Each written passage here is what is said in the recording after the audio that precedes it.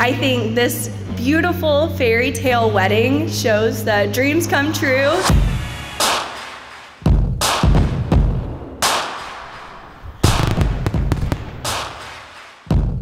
In 2013, one day, I heard about this new crush of hers.